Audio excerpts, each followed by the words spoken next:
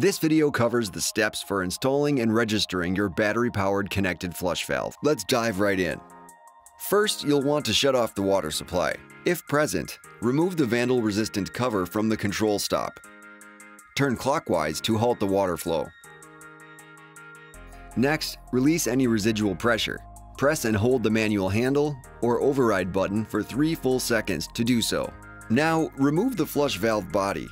Loosen and unfasten the flush valve tailpiece nut from the control stop using a smooth-jawed wrench. From there, loosen the vacuum breaker tube nut from the flush valve and detach the flush valve body. You're almost ready to install. Assemble your connected ZTR series flush valve as follows.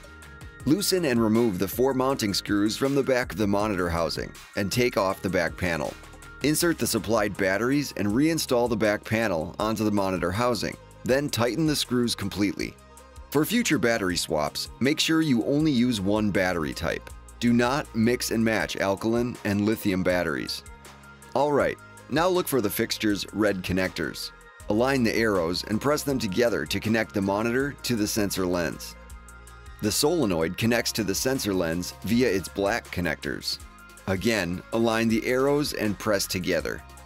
You can make use of the space within your sensor cap to store the red and black connectors. Align the sensor cap screw hole with the keyway in the ring insert and place the sensor cap on the valve body. Rotate the cap counterclockwise until the set screw is visible and the sensor itself is facing forward. Using the 330 seconds hex key, rotate the set screw clockwise to secure the cap. Before you attach the flush valve tailpiece to the control stop, inspect and verify that the O-ring seal is located within the O-ring groove at the tailpiece. Ensure that the tailpiece nut and the locking snap ring are also present on the tailpiece. Lubricate the O-ring with water if needed, and insert the flush valve tailpiece into the control stop valve.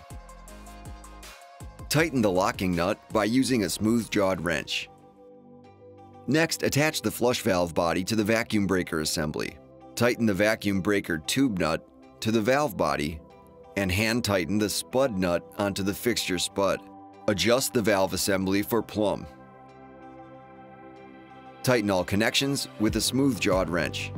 You're all set to turn the water supply back on. Use your flathead screwdriver, turning counterclockwise. Press the manual override button once again to clean the line, and finally, put the stopcap cover on. Alright, let's register your product. First, open the plumbSMART app and log in. You can even apply facial recognition or your fingerprint for added security. Go to the top left and select Register Product. Here you have a couple options. You can scan the QR code with the product serial number or click the Don't Have Code link to manually enter the product serial number. If you can't find your serial number, click the Where is the serial number link for a visual aid. Hit Back to Registration to return to the main screen. Press Scan to bring up your camera and scan the QR code with your serial number. You'll see it was successfully pulled here. Next, you can take a picture of your installed product.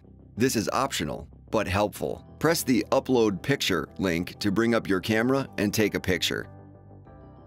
That image will go into the portal for your reference anytime. Click Next to take you to the Product location section. Zurn Customer Care created your enterprise for you when you called ahead, so you can specify the location of your products. Select the building, floor, and room from the drop-downs. Then enter the installed location for easy identification down the road.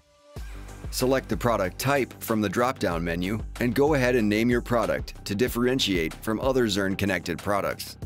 You can go back and edit this at any time. The installer name and install date are pre-populated, but you can edit this as well. Then press Next to register. Sit tight. Let the information load now you have the option to add more products or click Done if you're all set. Thanks for joining me. I hope you found it helpful. Make sure to check out our library of how-to videos for plumbSMART and Zurn connected products at zurn.com slash plumbsmart.